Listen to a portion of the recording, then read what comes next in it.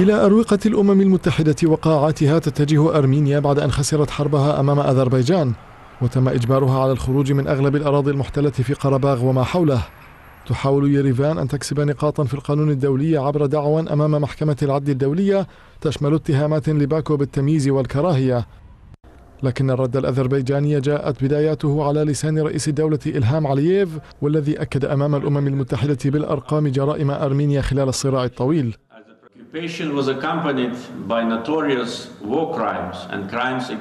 كان الاحتلال مصحوبا بجرائم حرب سيئة السمعة وجرائم ضد الإنسانية. ارتكبت أرمينيا إبادة جماعية في خجالي في فبراير عام 1992 مما أسفر عن مقتل مئات المدنيين بمن فيهم 106 نساء و63 طفلا.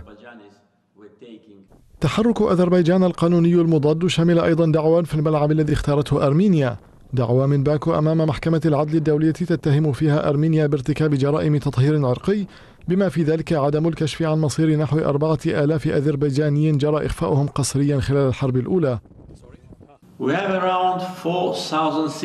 لدينا حوالي أربعة ألاف مواطن مسجلون كأشخاص مفقودين من حرب كرباغ الأولى يجب أن تزودنا أرمينيا بمعلومات عن مصيرهم ولدينا دليل قوي على أن جميعهم تقريبا تعرضوا للتعذيب والقتل والدفن في مقابر جماعية من قبل الجيش الأرميني في انتهاك للقانون الإنساني الدولي.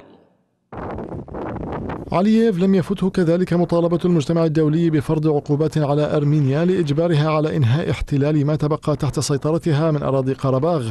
وهو في ذلك يؤكد أن الصراع لن ينتهي قبل إعادة كامل الحقوق لأصحابها تمهيدا لإنهاء عداوة لا يستفيد منها طرفاها بقدر استفادة بعض القوى من خارج المنطقة.